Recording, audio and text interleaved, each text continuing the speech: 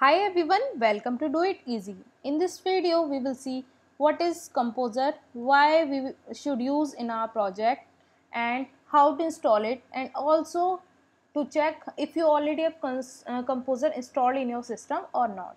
So in this video, we will be more clear about the Composer. So let's get started. At first, the first question is what is Composer?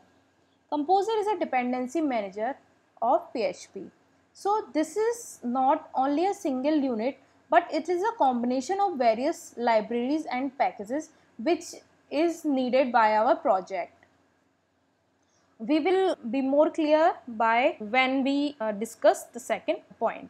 That is why it is used in our project. It is not mandatory that without Composer you will not be able to work on your project or it, it will not be installed. Composer it is a combination of various packages and services. So if you don't want to use Composer then you need to individually uh, install the services and packages and then you will be able to work on that project or it may happen that composer is a combination of 10 packages but you uh, have installed only 8 at that time it runs. But when you are uh, in mid of your code then you just get know that this package is missed.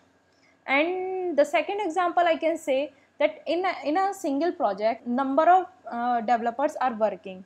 And if you are not using the composer the first user has installed 8 packages or 9 packages and the second developer has installed only the 5 so both of the uh, developers of a single project are not in the sync so this problem is resolved by the composer.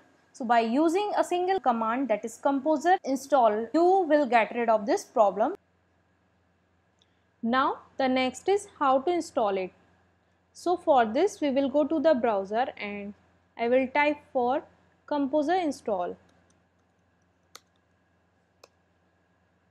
This is the official website and here you can see few list of commands using which we will install our composer in our system and here are the few options for composer and here you can see a list of versions which is for composer.phar file. Now we will copy this command. If you want to know what are these command for you can go here. First is for downloading the installer and second is is verifying the installer SHA and third is running the installer and fourth after uh, composer setup then it is unlinking this installer.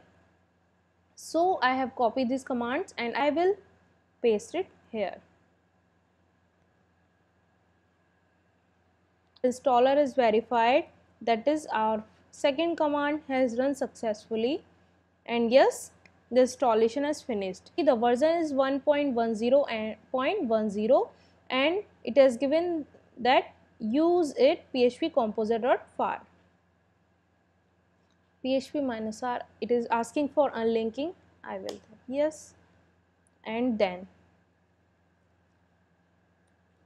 php composer dot phar enter.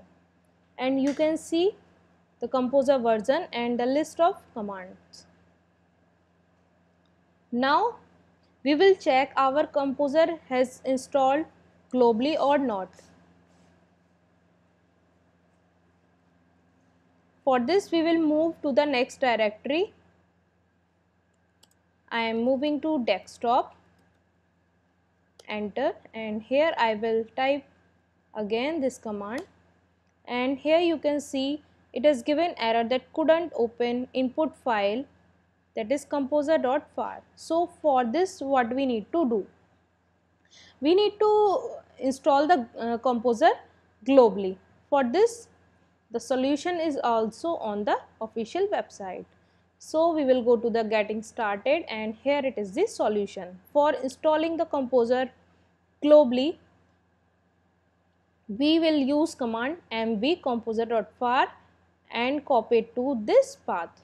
This is moving the moving that composer.phar file to this path.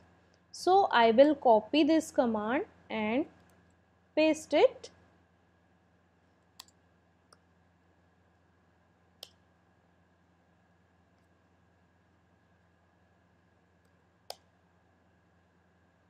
I will open the terminal again and here you can see it is the composer.phar file so now I will copy this command and paste it here.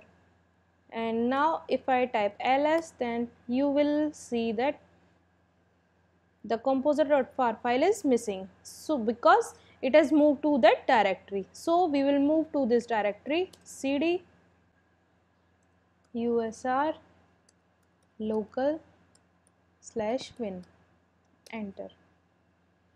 And I will type ls and yes here you can see it is composer.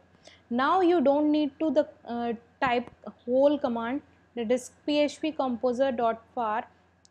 If you will type composer and then enter you will get composer version information about it and all the commands below.